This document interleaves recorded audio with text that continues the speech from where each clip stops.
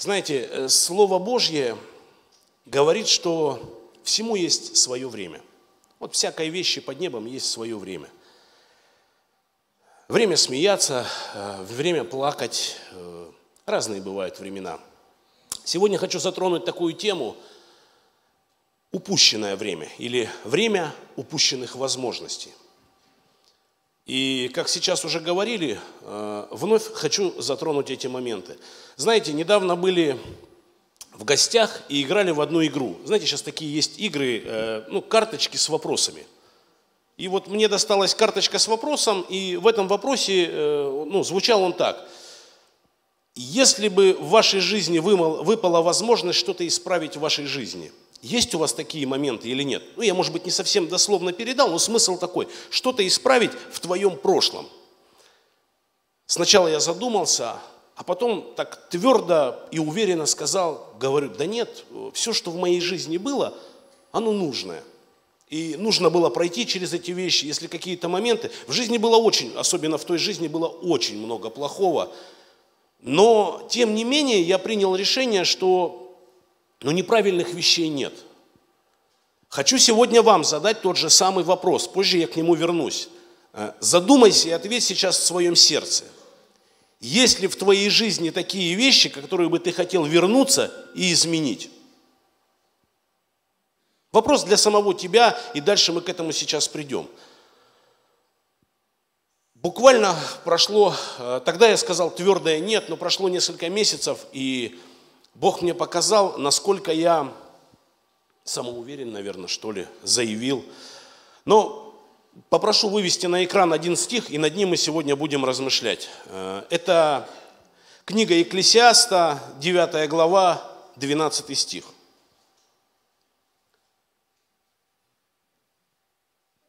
Экклесиаст, 9 глава, 12 стих. «Ибо человек не знает своего времени. Как рыбы попадаются в пагубную сеть, и как птицы запутываются в селках, так сыны человеческие уловляются в бедственное время, когда оно неожиданно находит на них. Знаете, бедственное время, которое приходит неожиданно. И сейчас тетя Таня говорила примерно о тех же самых вещах, когда мы не ждем, не гадаем, и хочу немножко, так я не знаю, наверное, это будет полусвидетельство, полупокаяние, тем не менее, будет, я думаю, назидательного характера. В моей жизни два месяца назад э, очень сильно заболела спина. Я даже не понимаю, от чего прихватило. Я редко как бы чем-то болею, но тут вот сильно прихватило. Но тем не менее мне хватило сил, я думал полечить, поехал в баню, в бане попарился, вроде бы более-менее, но болит. Приехал домой, лег спать, и когда ложусь спать, я отключаю телефон. Ну, звук на нем. И приехала чуть позднее жена моя, э, будет и говорит, там тебе звонят, срочно позвони. Я звоню туда и узнаю, это звонила сестра, э, подружка моей родной сестры, звонит и говорит, слушай, твоей сестре очень плохо, мы вызываем скорую, ты приедешь. Она как бы живет, ну, не совсем рядом, то есть это другой, э, ну, край города. И знаете, в тот момент я не придал как-то вот ну, особой важности, что ли. Вот как раз был испытан вот этим бедственным временем, которое неожиданно пришло. Я не ожидал, что это какие-то серьезные вещи. Я сам как бы к болезням отношусь так, что э, в больницу меня чуть ли не силком нужно отправлять. И я посчитал это не совсем важным. Я позвонил э, с подружкой с этой, связался, она говорит, слушай, Лене плохо. И знаете, э, сейчас, конечно же, я кусаю локти. Э, Мою сестру привезли они в больницу, я не поехал, я не придал этому серьезного, а, как сказать, значения, и она вечером впала в кому, через два дня умерла. Всю жизнь я, ну не всю жизнь, а вот сейчас жить в Господе, я считал, что я священник, что я служу, и я был так немножко самоуверен о себе, потому что вроде кажется, знаете, мы так смотрим на какие-то аспекты своей жизни, и вот так видимые части говорим, ну вот здесь правильно, вот здесь я верно поступаю. А самый важный момент для моей сестры, то есть тот момент, когда я ей мог рассказать нормально о покаянии и довести ее, то есть подвести к Иисусу, я упустил. Упустил, и это никак нельзя вернуть, никак-то исправить. То есть, и, конечно же, я в сердце своем, своем таю эту надежду, что она знала, мы с ней иногда, когда я приезжал к ней домой, она просила, молилась. Но тем не менее, вот этот момент, когда я должен был довести до Иисуса ее, я его упустил. Просто. И сейчас ссылаться на то, что болела спина, знаете, если бы я знал, я даже в инвалидном кресле, кресле бы поехал. Но тогда я упустил. Мне показалось, что я сделал выводы. Бог очень сильно меня обличил за это. Обличил, у меня было такое непрощение к себе. Потом я нашел кое-какие стихи, я позже их прочитаю или просто озвучу. Я немножко успокоился, принял решение, что я буду теперь всегда на страже. Я буду, Господи, я всегда. Время не замедлило себя ждать. И буквально неделю назад, в прошлое воскресенье, мне звонит мой друг, э, Лена, вот у наша сестричка рассказывала, то есть стояла с картонкой, к ней подошел парень, здоровый парень, то есть ничто не предвещало такого. Подошел, Бог его побуждал. Вы знаете, Бог со своей стороны сделал все. Так часто бывает в наших жизнях. Бог сделал все, и остается нам как-то участвовать. И этот парень подошел к ней, заговорили о Иисусе, э, выяснилось, что мы знакомы, то есть он, он ей говорит, а знаешь, такого вот я его знаю, там еще кое-кого с нашей церкви назвал. Она, да. И она побудила в его сердце желание, он вечером в воскресенье, вот неделю назад, звонит мне, радостный, говорит, братишка, я соскучился так, хочу увидеться, давай увидимся, она болела. Знаете, я так как-то не придал особого значения, думаю, здоровый парень, что с ним будет? Как бы даже в мыслях себе не допустил. И я ему говорю, ну давай через неделю, в следующее воскресенье, вот сегодня это должно быть, ты придешь в собрание, после собрания мы пойдем в гости. Знаете, такая мысль у нас, что человека нужно привести в церковь. Большое заблуждение оказалось. Человека нужно привести ко Христу ко Христу. И мы очень часто, нет, конечно, с одной стороны, я мыслю, как бы, как мне казалось, правильно, что нужно вот, э, так это сказать, практично, чтобы он увидел, порадовался, как-то что-то пережил. Ну просто в понедельник, то есть это разговор был в воскресенье, в понедельник Стас умер. Я не знаю, что, что за причина, там здоровый, вот прям, ну, здоровый такой спортсмен, то есть, ну, что произошло, я не знаю. В четверг я уже был у него на похоронах, и, вы знаете, меня аж сосет под ложечкой за то, что в те моменты, когда я действительно нужен, я по каким-то причинам нахожу отговорки или оправдания в своей жизни. К чему все это? Знаете, мы очень часто говорим, что и слышу такие вещи, что на чужом опыте богословия не строится. Но как сейчас говорила тетя Таня, о чем мы говорили сейчас?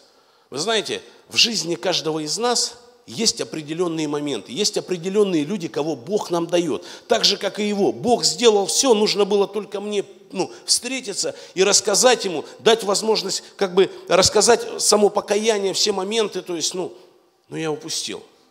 В твоей жизни сегодня есть, может быть, дети, которые еще ну, не до конца понимают каких-то вещей. Может быть, есть какие-то неразвязанные моменты э, непрощения кому-то, обиды, то есть те вещи, с которыми мы в Царство Небесное не войдем.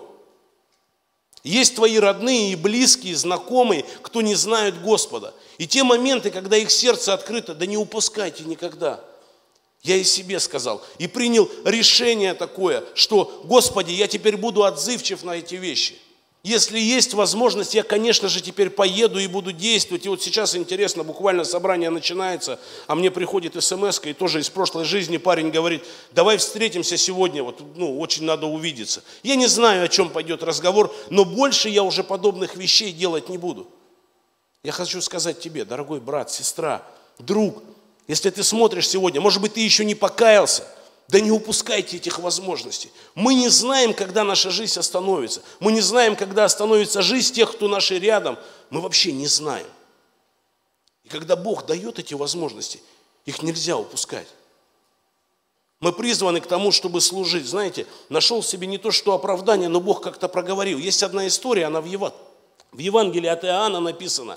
И когда Петр сделал свою ошибку, скажем так, когда отрекся от Христа, у него были точно такие же переживания. Трижды отрекся.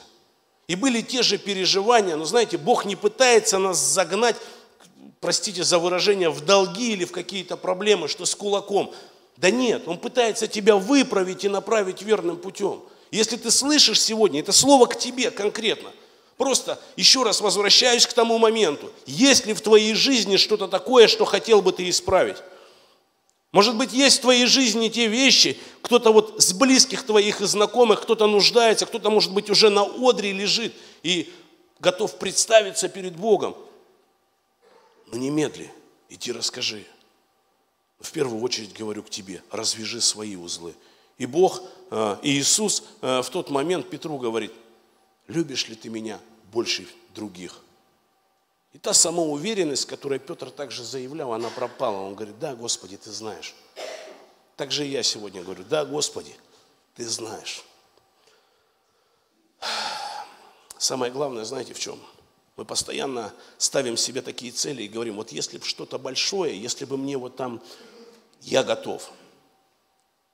Писание не зря говорит, что ты должен быть верный в малом. Что это означает?